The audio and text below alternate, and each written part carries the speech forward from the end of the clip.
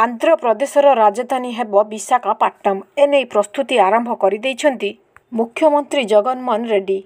ଗୁଡ଼ି ପଡ଼ୱା ଅର୍ଥାତ୍ ତେଲୁଗୁ ନୂତନ ବର୍ଷ ପରେ ଆନ୍ଧ୍ରପ୍ରଦେଶର ରାଜଧାନୀ ଅମରାବତୀରୁ ବିଶାଖାପଟନମ୍ ସ୍ଥାନାନ୍ତର କରିବାକୁ ମୁଖ୍ୟମନ୍ତ୍ରୀ ଜଗନମୋହନ ମନସ୍ଥ କରିଛନ୍ତି। ମୁଖ୍ୟମନ୍ତ୍ରୀ ଜଗନମୋହନ ରେଡ୍ଡି ତିନୋଟି ରାଜଧାନୀ ବଦଳରେ ରାଜ୍ୟର ଏକମାତ୍ର ରାଜଧାନୀ ଭାବେ ବିଶାଖାପଟନମ୍ ସହରକୁ ଚୟନ କରିଛନ୍ତି। ଏହାକୁ ନେଇ ଜଗନ ତେଲୁଗୁ ଫିଲ୍ମ ଉଦ୍ୟୋଗର ପ୍ରତିନିଧିଙ୍କ ସହ ଆଲୋଚନା କରିଥିଲେ। ଆଲୋଚନାରୁ ଏହି ସଙ୍କେତ ମିଳିଛି ଯେ ଭବିଷ୍ୟତରେ କୌଣସି ସମୟରେ ମୁଖ୍ୟମନ୍ତ୍ରୀ ଜଗନମୋହନ ରେଡ୍ଡି ବିଶାଖାପଟନମକୁ ଆନ୍ଧ୍ରପ୍ରଦେଶର ରାଜଧାନୀ ଭାବେ ଘୋଷଣା କରିପାରନ୍ତି।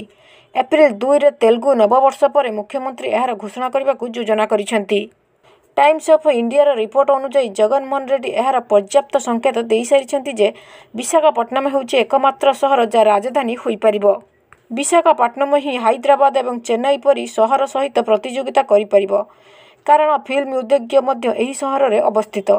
ତେଣୁ ଜଗନମୋହନ ରେଡ୍ଡି ରାଜଧାନୀ ଭାବେ ବିଶାଖାପଟନମକୁ ପ୍ରାଥମିକତା ଦେଇଛନ୍ତି। ଜଗନମୋହନ ରେଡ୍ଡି କହିଛନ୍ତି ଏହି ସହର ଆଗାମୀ ଦଶରୁ କୋଡ଼ିଏ ବର୍ଷରେ ଦେଶର ଏକ ପ୍ରମୁଖ ସହରରେ ପରିଣତ ହେବ। କାରଣ ସବୁ ବର୍ଗର ଲୋକେ ସହର ଅଭିମୁଖେ ଆସୁଛନ୍ତି।